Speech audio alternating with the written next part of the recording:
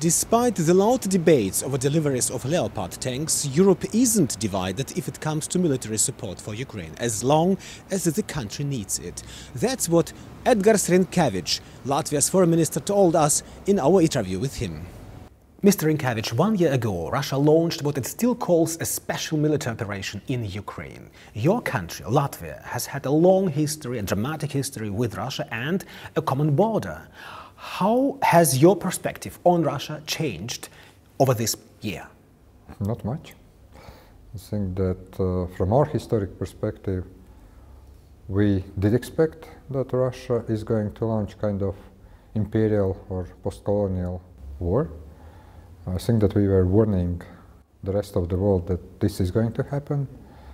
Well, to some extent even we were a bit optimistic some years ago uh, before actually 2014, before Russia occupied Crimea, thinking that there is a chance that probably the cooperation between Russia and European Union, Russia and the West would actually transform the country. Did the West, above all Western European countries, Western leaders uh, like Germans or the French, uh, neglect the danger from Russia? I think that there was underestimation of the danger. Uh, but I would say that unfortunately, what I sometimes see that many of our friends in the West are very often obsessed with the process, less with the result. Should Europe have paid more attention to the warnings coming from the Baltics? Look, uh, I know that this is very tempting sometimes to say, we told you so. Uh, I know that this is very tempting now to say that we knew that. Uh, let me say this a bit differently. I think that somehow we all kind of lived in the 1990s for too long. To some extent, from time to time, we were also kind of trying to be nice and polite, not to look like the usual suspects, uh, not to look like, you know, a bit too crazy. To some extent, naive. On the other hand, yes, indeed, I think that the biggest mistake that I would name was the dependency on Russian energy sources. Mr. Rinkēvičs, uh, what about today? One gets the impression that uh, you personally, together with your colleagues from Estonia and Lithuania, are calling for significantly uh, tougher or stronger actions, reactions towards Russia, for example, than, for example, Germany or uh, Western European countries. Will the Baltic countries be going their own way in the future? No, I think that uh, this is part of the process. If we wouldn't be calling for tougher actions, we wouldn't be getting even what we are getting, because there are also some colleagues calling for softer action. But let me say you this, I don't find too many differences with my German colleague. I think that Annalena Baerbock is also having a very strong stance, and I would say that I very much agree with her take on what we should do. Italy's head of government recently criticized uh, Ukrainian President Zelensky's trip to Brussels. Uh, Hungary is reluctant to criticize Putin. Germany drags its feet when it comes to arms deliveries. Uh, what is your impression? Is uh, Europe pulling together or is there a growing divide within the EU over this war? Now, I think I will come to the defense of the German government, to big surprise of Deutsche Welle. Uh, first of all, let's let's be clear. A lot of countries, including Germany, do a lot of things. Sometimes the problem is not what they do, but how it looks like. Mm, the communication. The problem is that sometimes, before decisions are taken, uh, you have this kind of the situation where you are discussing, while the de decision is not taken, things seem to be a bit different. The fact that, yes, it was a bit drama of deciding on tanks. Yes, it was a bit drama in the past deciding on other things. At the end of the day, those decisions are there. And also Ukrainians are acknowledging that there is a constant stream of military equipment and help from Germany, from Italy, from Spain, from other countries. Hungary is a bit different case, but again, yes, uh, I think that we all uh, have strong differences. But then if we make decisions or those decisions at least are not blocked. This is also the positive dynamic. This is still not the Soviet Union, this is still the European Union. So it's not so, how to say, bad as it sometimes looks like, but yes, indeed, it's war. The tension is running high. This country, this society in Latvia wants to have more help to Ukraine. Let's talk a little bit uh, about your country. Latvia is one of the loudest or strongest critics of this war, uh, but the price your country has had to pay is also high. Um, your country has sent 1% of GDP to Ukraine as military aid. At the same time, higher energy prices uh, have been driving inflation up to 20%. Uh, and this war, it seems, is uh, far away from over. Um, how willing is Latvia to continue to make sacrifices should this war go on for months or even years? I think that people here in Latvia and also in other Baltic states vividly remember 1940, the Soviet tanks rolling in, the occupation of Latvia. So what happened in Crimea, what happened also with this invasion of Ukraine is a very, very strong emotional reminder of our not so distant history. And there are still people who remember what happened at the end of 1930s, beginning of 1940s. There are still people who lived through Siberia. They were kids at that point, but they still have those memories. So uh, from that point of view, yes, indeed, uh, what is the general feeling here in this society? Yes, we paid the price. Yes, we uh, do have a lot of challenges. The problem is that we understand if Ukraine does not win, if Ukraine does not withstand the Russian aggression, then the security situation, not only in Europe but the world, is going to be completely different. And then probably the price we are going to pay would be much, much higher. Mr. Rinkevich, speaking on the Western solidarity or Western military support for Ukraine, um, and a fear of a potential escalation, um, how long should the West deliver weapons, arms to Ukraine? As long as it takes, as long as Ukraine fights this war, as long as Ukraine liberates its territories.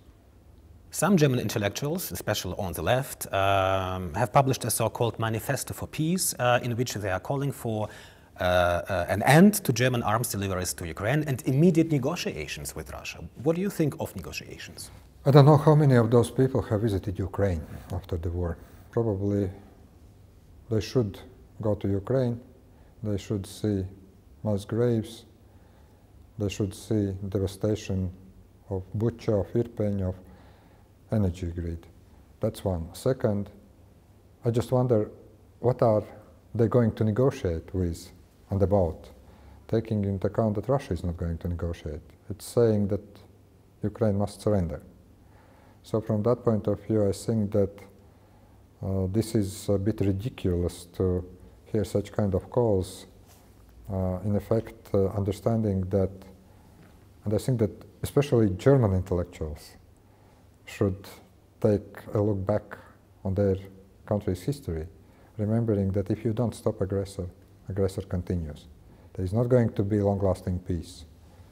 There's going to be even some kind of probably uh, little period of time, small period of time, when there is no military activity, Russia regroups and Russia would attack Ukraine again those intellectuals probably should watch with some translation, I understand, Russian propaganda channels. I think that that hatred that uh, you can see, listen from chief propaganda officers of the Russian state against Ukrainians, against the West, is, I would say, comparable to the Nazi Germany, to, to, to, to Hitler's propaganda machine.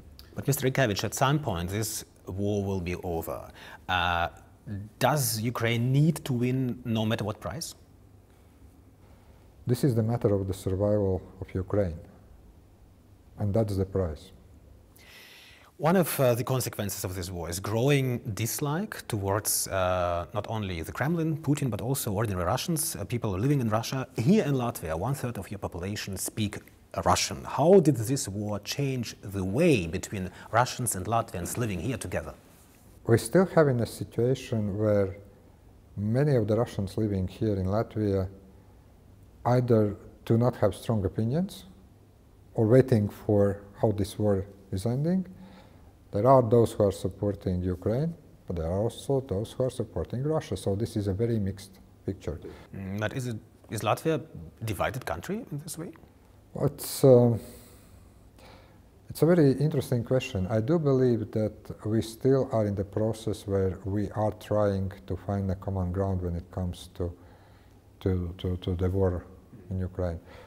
But also, like it or not, one of the litmus tests is your attitude against the war of Ukraine, against Russia, its aggression, and also how you uh, treat uh, Ukrainian refugees. But are the uh, Russians living here in Latvia who sympathize with Russia, with the Kremlin, dangerous for Latvia? I think that we certainly do not need to exaggerate the feelings of the Russians here. But we also are rather very careful to analyze also different uh, opinions, also some actions, and yes, those who are openly expressing their aggression against other citizens. There have been limited number of incidents with Ukrainian flags involved and others.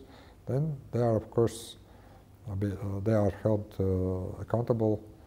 Do you wish there were fewer uh, Russians living there? Look, uh, less that number of Russians that now lives in Latvia is part of our Soviet occupation legacy.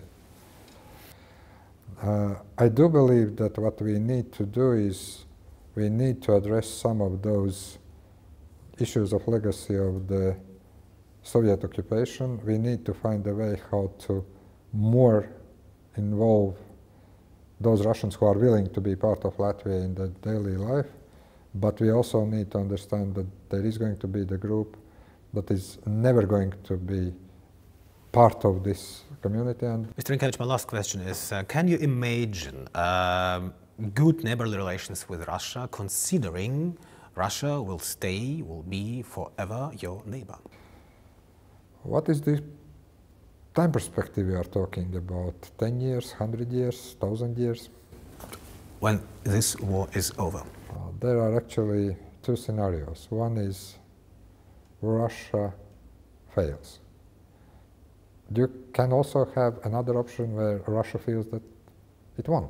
In first case, most probably you are going to have humiliated and defeated Russia and certainly large parts of population seeking some kind of revenge.